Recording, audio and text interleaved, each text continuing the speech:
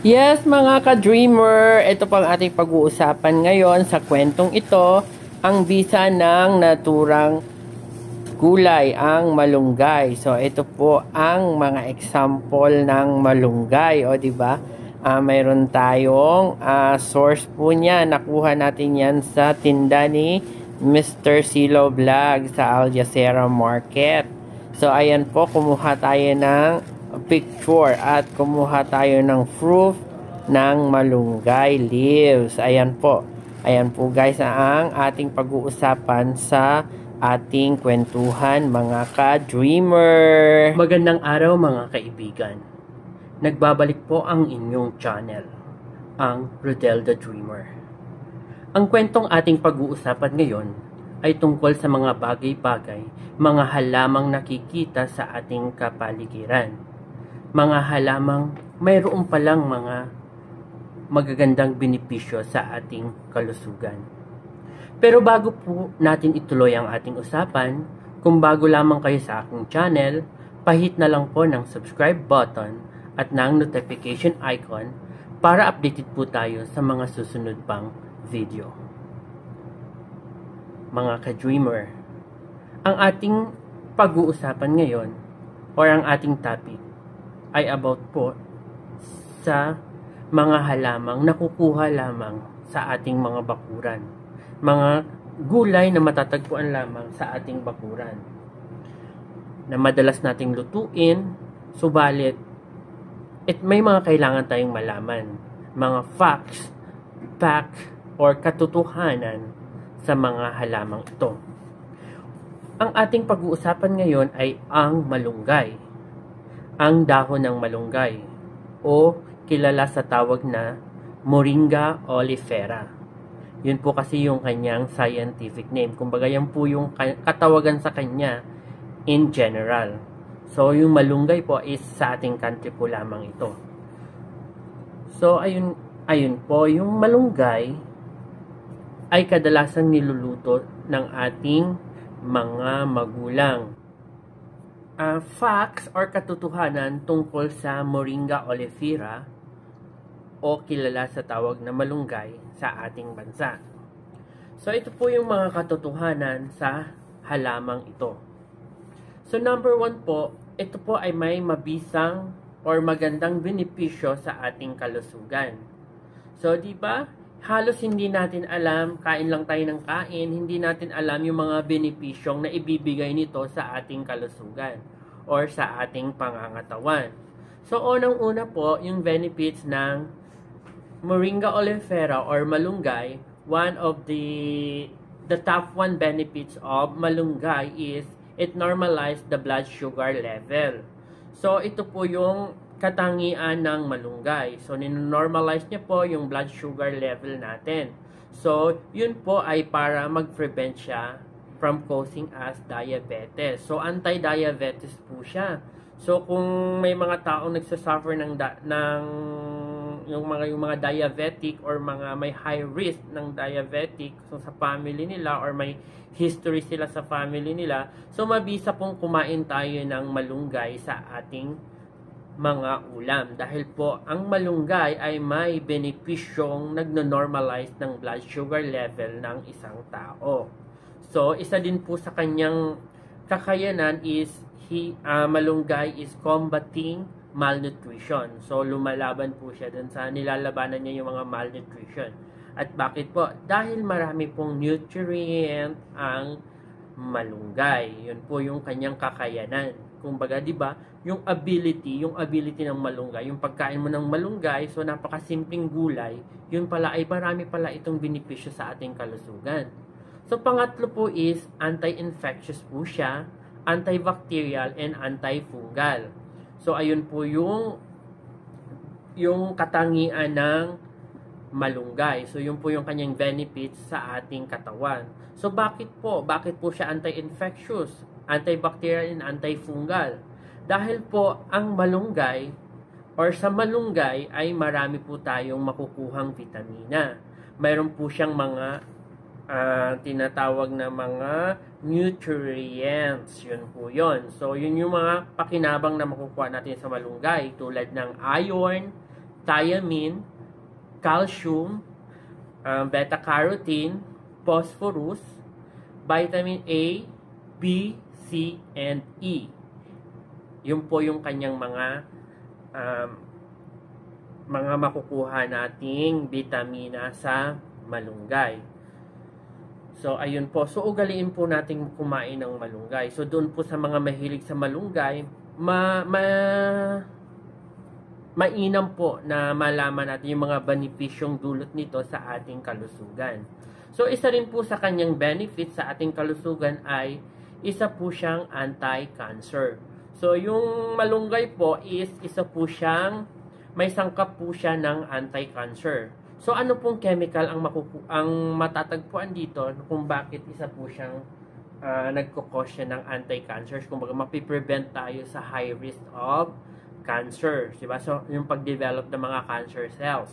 So yung uh, malunggay po ay mayroon po siyang uh, phytochemical. Yung phytochemicals po, ayan po yung chemicals na pinoproduce po ng mga halaman o or in English and that is the chemicals that produce that produced by plants. So yun po yung petrochemicals. So FYI lang po for your information. So dahil po, bakit po siya anti-cancer? Dahil po, si malunggay ay rich po siya so, or mayaman siya sa antioxidant. Mayroon po siyang ano, beta-carotene, vitamin C, at flavonoid. So, yun po yung mga sangkap na mayroon po ang malunggay. So, napakayaman po ng malunggay sa tatlong sangkap na ito. Yan po ay, kumbaga, yan po yung nagpe-prevent ng pag-develop ng cancer cells. So, di ba? So, maaano tayo niyan, mai sasalba niya tayo sa risk. Kumbaga, high risk ng ano, cancer. So, yun po yung katangian ng malunggay, yung kanyang antioxidant, yung yung tatlong sangkap ng makukuha sa kanya ay ang beta-carotene, vitamin C at ang flavonoids. So, mayroon din po siyang sangkap na mayroon din po siyang benepisyo sa ating uh, kalusugan or sa ating katawan. Ang pagkakain po ng malunggay is isa po siyang anti-inflammatory. So, anti inflammatory. So, dahil po ay mayroon po siyang taglay na vitamin B1. So, yung vitamin B1 po is nagpiprevent po siya ng inflammation. Ayun po. Sa katulad ng mga rheumatism, arthritis, and mga joint pain. So, kung nakakaranas po tayo ng rheuma, kumbaga sa atin uso yung mga nirarayuma, arthritis, sabi nila pang mayaman daw is arthritis and mga joint pain. So, kung nakakaranas tayo ng mga ganito is uh, hindi po siya dala ng sabi nila dahil malamig ang panahon or whatsoever. So, mainam po na kumain tayo ng malunggay dahil po ang malunggay ay rich po siya sa vitamin B1. So, yun po ang magpe-prevent magpe-prevent from us in a high risk of rheumatism, arthritis, and joint pain. Diba? Yung mga kasukasuan natin, yung mga hilu-hiluan, mga nananakit, sabi is marami tayong ano, uric acid, like that. So, mainam na kumain po tayo ng malunggay. So, just an information lang po. So, dahil sobrang, para sa akin, napakasarap talaga ng malunggay. So, without knowing na yung malunggay pala ay maraming benepisyo sa ating katawan. So, para din po, hindi lang po para do, hindi lang po doon lang yung ang benefits ng uh, malunggay. So, mayroon din po siyang benepisyo para sa mga nagbe-breastfeeding. So, sa mga bagong panganak, yung nagpapadede, so, mas mainam na kumain po tayo ng malunggay. Bakit po? Kasi po yung malunggay is um, tumutulong po siya sa pag-produce ng more milk sa ating katawan. So, ayun po. So, para sa mga nagbe-breastfeeding, so, ugaliin po natin kumain ng malunggay. Isabay na po siya natin sa ating mga menu. O, di ba po, uh, meron na naman tayong konting natutunan dito sa video ito. So, isa pa po sa kanyang benefits ay ini-strengthen niya yung ating immune system. So, binuboost niya. Kumbaga, pinalalakas niya yung ating immune system. So, bakit? Kung bakit na pinapalakas niya ang ating normal, ng ating immune system? Because, ang ano po, ang malunggay ay nagbuboost siya up to 10 times. 10 times more than other food supplement can give. So, sampung beses po, sampung beses po nang kayang ibigay ng mga food supplement na ating nabibili or ating na bibili po na ating ini-intake, yung ating iniinom.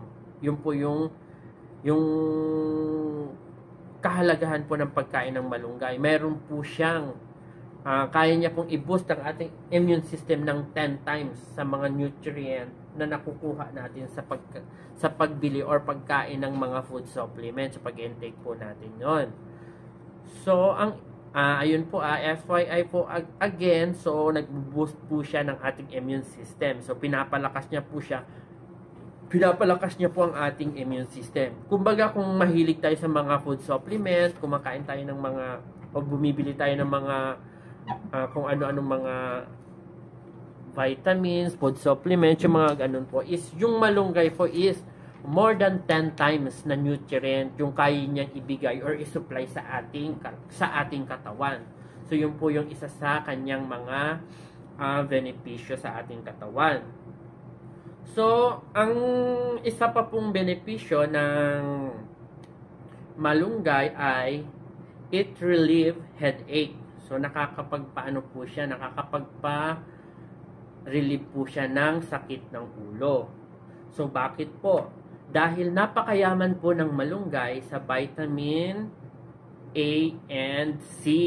Yun po yung kanyang component. Yun po yung uh, kanyang taglay na vitamins kung bakit kaya niya mag-relieve ng headache. Kung bakit kaya niyang uh, makapag pagaling ng sakit ng ulo, di ba? O kumbaga is ma i ano ba tawag dito is maaano pa natin, ma-anticipate pa natin yung pagkakaroon ng sakit ng ulo. Dahil po pala, yung malunggay ay mayaman po siya sa vitamin A and C. So, tuloy-tuloy lang po tayo mga ka-dreamer sa pagtutok sa aking channel. So, ang ating pinag-uusapan ngayon ay ang malunggay. Ito pa po ang isa sa benepisyo ng malunggay o moringa. O moringa Moringa olifera. Yun po yung kanyang scientific name. So, yung malunggay po is, it is strengthen eye muscle. So, pinapa lakas niya po or pinapatibay niya yung ating eye muscles. Um, bakit po, anong sangkap meron ang malunggay? Bakit kaya niyang i-boost or patibayin ang ating eye muscles? Dahil po si malunggay ay mayaman po siya sa vitamin E. O, di ba? Yun po yung kanyang ang kakayahan yung vitamin E. Kaya niyang strengthen yung ating eye muscles. So, isa pa pong benepisyo ng malunggay ay it prevent intestinal worm. O di ba? O di ba worm nakakatakot siya it uod, di ba? Kung sa Tagalog ay uod.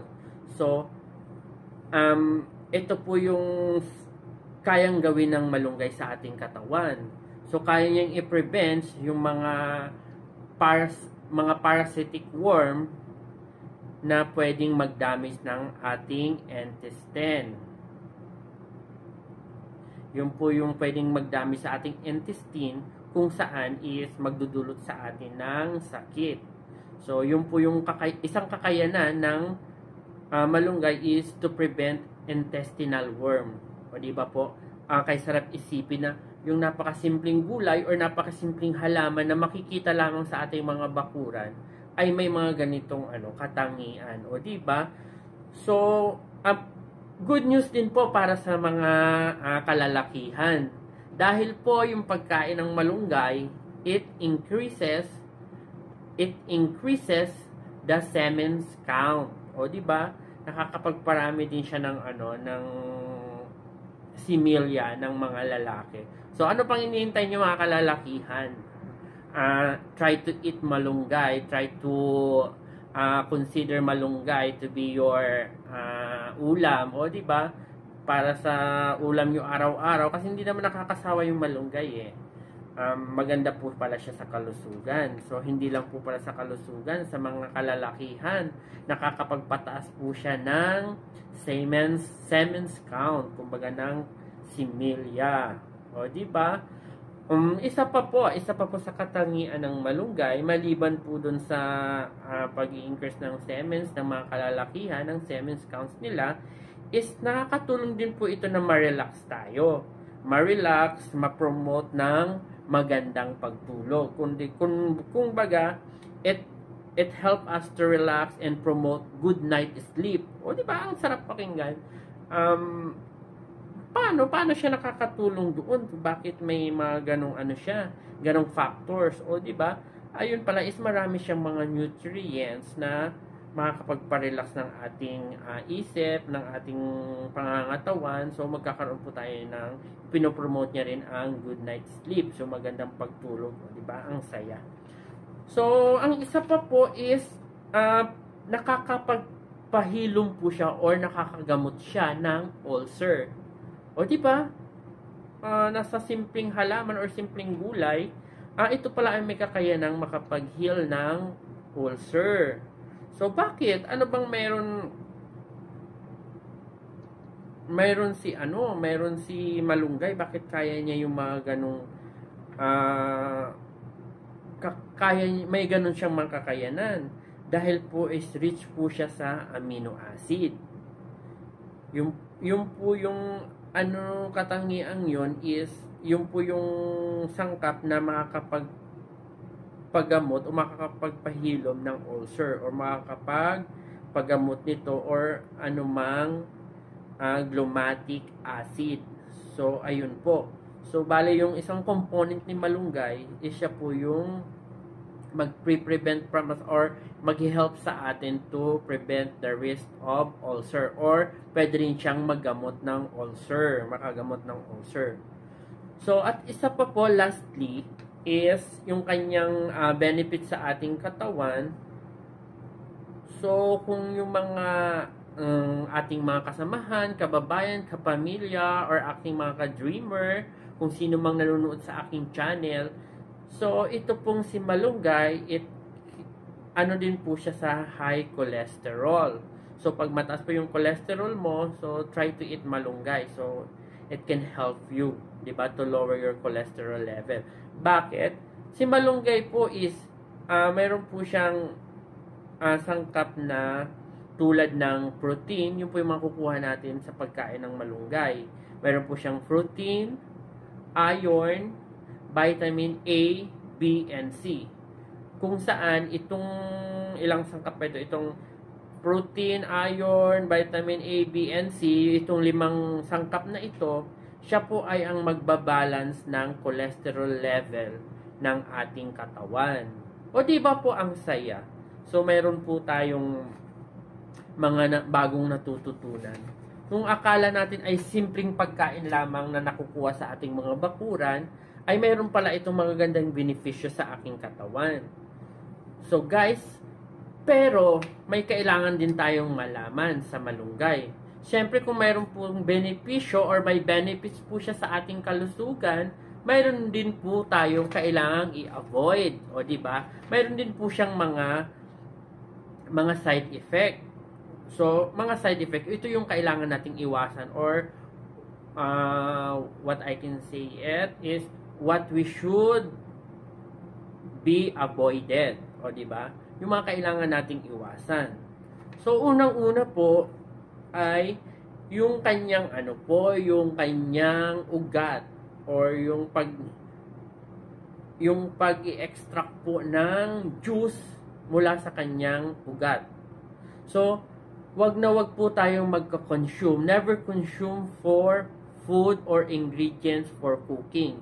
Wag na wag po nating gagamitin pagkain or ilalahok natin sa mga ating niluluto. So, never, never po natin itong gamitin. So, FYI po, ito po yung bagay na should be avoided in malunggay. So, hindi po lahat kasi is mayroon eff- uh, side um, benefits. Kumbaga, hindi lang lahat benefits yung makukuha natin. Kung magkakamali po tayo, pwede po rin nating um, makuha ang side effect, o di ba? So, kaya, kaya kailangang informative din yung ating mga video. So, kung may information tayo at mayroon tayong mga nalalaman, may iiwasan natin ang ganitong mga bagay. So, ayun nga po. So, baw, uh, wag na wag po natin gagamitin yung kanyang ugat or kanyang roots and root extract. Bakit po? Dahil nagtataglay po ito ng spirocin. So, spirocin po. Siya po siya po ay isang alkaloid isolated from the roots uh, that may cause a, fat, a fatal or what we say that fatal or fatal nerve paralysis. O di ba? Magkaka- mamamatay yung ating mga nerve yung mga ugat-ugat. Yun po yung kanyang magiging epekto sa ating katawan once na, na nagamit natin ang ugat nito at ang inextract natin na juice or na isang cup natin ito sa ating mga niluluto. Dahil po, yun po, yung kanyang contain po ay ang asparagine. So, FYI po, para maiwasan nating maging ma-paralyze ang ating mga nerves, yung mga iwasan po nating gamitin ang sangkap ang sangkap na to na nagbumula sa kanyang ugat sa kanyang ugat. So, yun na nga po. So, sa mga nagbubuntis, so mainam po na wag tayong gumamit ng mga ano nito ng mga sangkap nito na nakukuha sa kanyang ugat, sa kanyang bulaklak. So, napaka-unsafe po na gamitin ng mga nagbubuntis yung kanyang bulaklak at yung kanyang ugat. So, never, never, never po nating pakakainin ng ating mga may bahay or ang ating mga asawa, ang ating mga nanay, ang ating mga ate, or kung sino pa man na nag, nagbubuntes or nagdadalang tao. So, wag po natin siyang pakakainin ng uh, mga may sangkap ng ugat ng malunggay at ng bulaklak nito dahil may bad effect po ito sa kanilang kalusugan. Ano po yung magiging negative impact niya once na nakakain siya noon, pwede po siyang maging cause ng abortion. So, pwede pong malaglag yung yung batang kanyang dinadala sa sinapupunan. Yun po. So, lagi po nating tatandaan, kung ang isang bagay ay may positibong epekto sa ating kalusugan, ay kailangan din nating alamin ang mga negatibong epektong maidudulot nito sa ating kalusugan. So, ayun po mga kaibigan. Kung nagustuhan nyo po ang aking uh, ang aking uh, video for for this information for malunggay leaves, so don't forget to subscribe on my channel and to tell your friend what the information you get from this video And ingat po natin at ugaliin nating alamin kung ano yung mga mabubuti at mga hindi mabuting epekto ng bawat bagay na ating kinakain or ating ipinapasok sa ating katawan. O sige po hanggang sa muli. Maraming maraming salamat po and have a great day. God bless po everyone.